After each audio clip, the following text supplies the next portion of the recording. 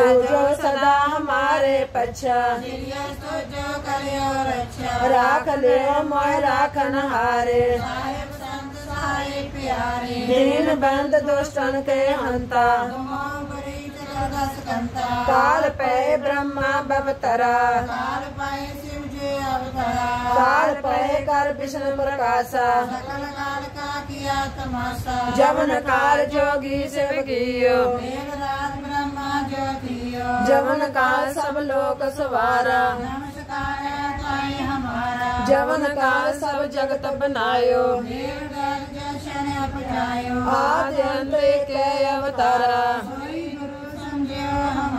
नमस्कार श्री को हमारी। आप सेवकन को सब गुण सुख दियो। को बल के अंतर की जानत।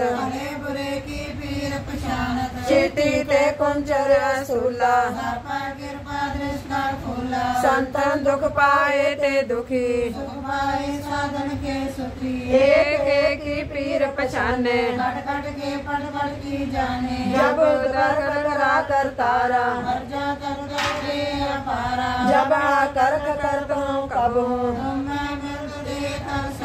जेते बदन से सब तारे आप अपनी बोझ चारे तुम सब ही तेरे तन रालम जानत वेद वेद आलम निरंकार निर्विकार निर्लंब आद नीला नाद संभ ताका मूढ़ चारद भेदा जाको बेवन भावत बेटा ताको कर पान मानत महा मूढ़ कछ वेद न जानत महादेव को कैस सदा शिव अहंकार का चीरत ਆਪ ਆਪਣੀ ਬਦੈ ਜੇਤੀ। ਮਨਨ ਬਿਨ ਬਿਨ ਤੋਹੈ ਤੇਤੀ ਤੁਮਰਾ ਲਕਾਨ ਜਾਏ ਪਸਾਰਾ। ਕਹਵੇ ਸਜਾ ਪ੍ਰਜਨ